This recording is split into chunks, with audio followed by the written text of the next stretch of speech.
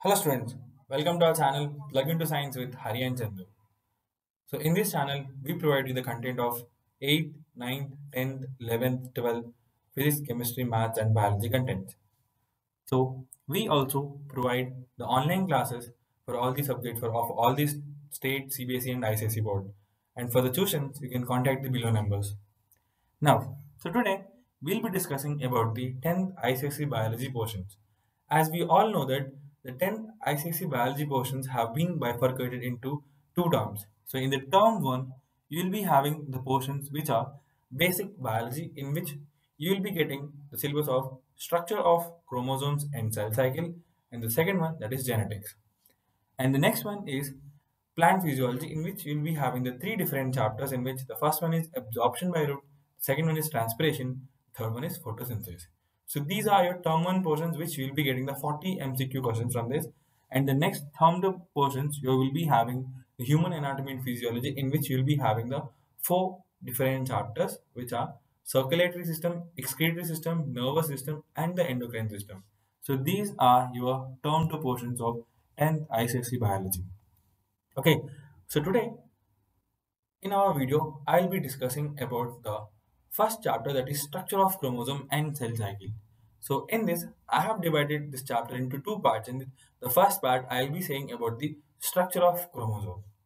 Now, in this chapter, you will be discussing about what are chromosomes, who discovered the chromosomes, chromatin, and the structure of chromosomes. So these are the few contents we're going to discuss in this chapter.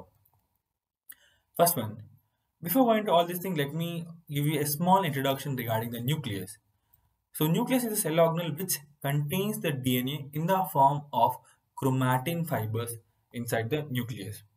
And if you see the nucleus, basically it is having a double membrane which is surrounding it with a small small gaps which is called as nuclear pores.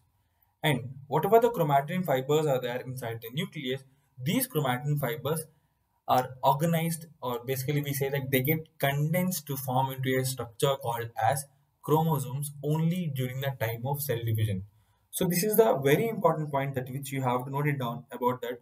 So basically whatever the chromosomes are there, so these are the units which are formed by the chromatin fibers only at the time of the cell division. Okay, so this is very very important point which you have to note it down. And the next thing about discovery of chromosomes. The chromosomes were discovered by Walter Flemming in 1882 and these chromosomes were discovered in the larva of salamander which is an amphibian. Okay, so this is where the Walter Flemming has discovered the chromosomes. The next one is let's discuss about chromatin. So what exactly is chromatin means? So chromatin is the combination of DNA and histone proteins. And you can see here the DNA full form is deoxyribonucleic acid and the histone proteins which first we'll be knowing about what exactly is DNA, what it is made up of. So this DNA is a macromolecule consists of polynucleotide chain. So here it was clearly written it's a polynucleotide chain. So poly means many. Next, nucleotide, you can think this is like a monomer type. Okay. So you will be having a many nucleotides in one DNA. So like many nucleotides form up a one DNA molecule. That's the reason why we say this has a macromolecule, which means large molecule.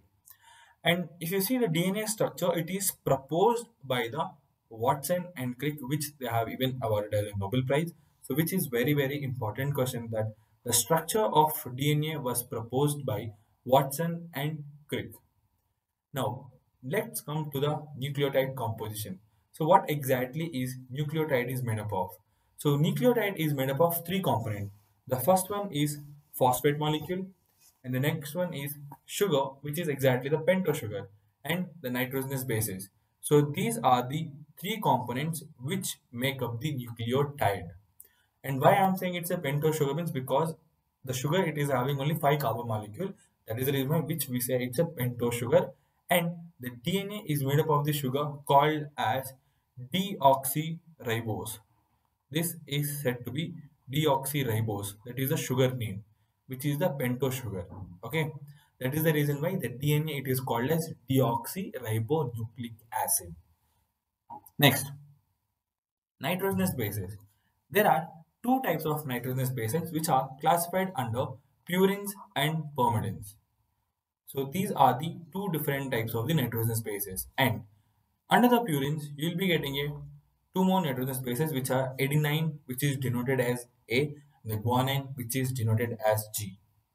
And under pyrimidines, you will be getting a three different types of nitrogen bases which are thymine represented as T, cytosine represented as C, uracil represented as U.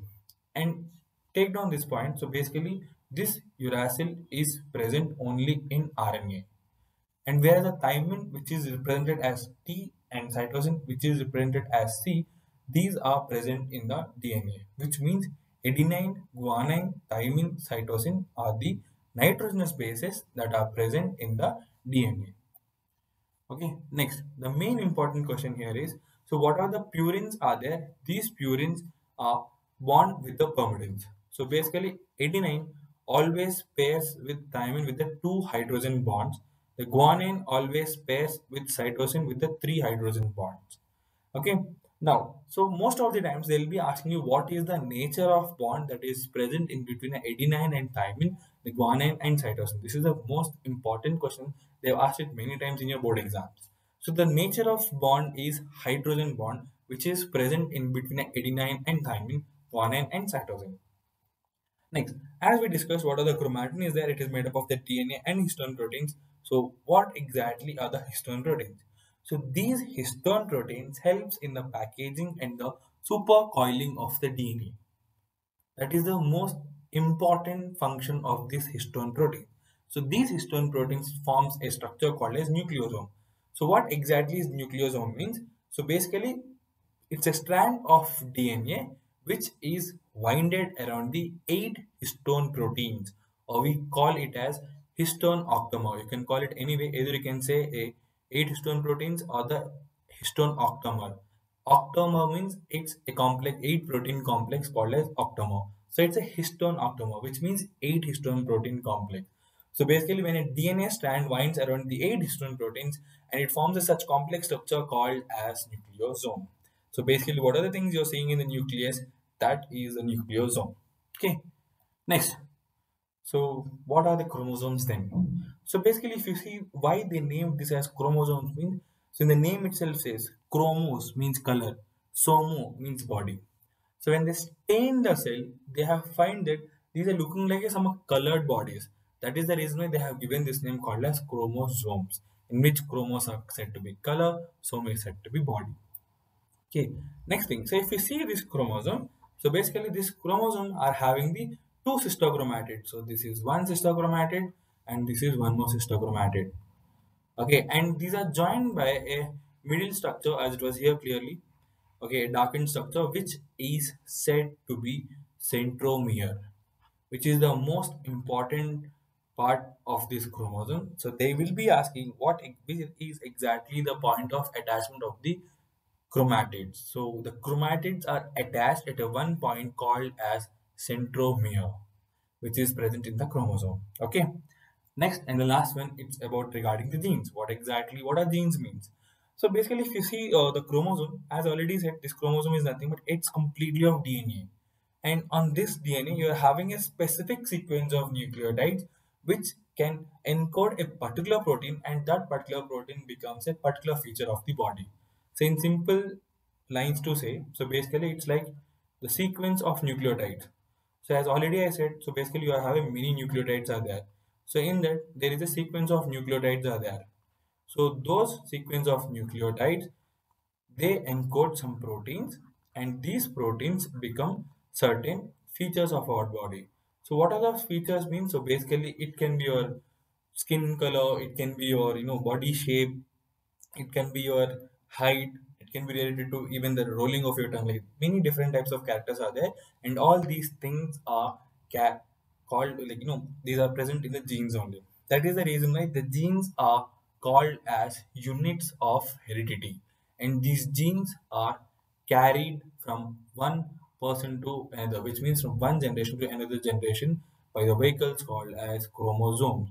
So these chromosomes transfer the genes from generation to generation. Okay, so this is about your genes. Thank you. Now, so basically, guys, so we will be providing a question paper like which will be covering of complete this topic of part one. So for the question paper, you can see the link below in the description, which will be giving the 20 MCQs like completely of board pattern. Okay, so if you like this video, please share, subscribe to our channel that plug into science with Hari and Chandu. Thank you.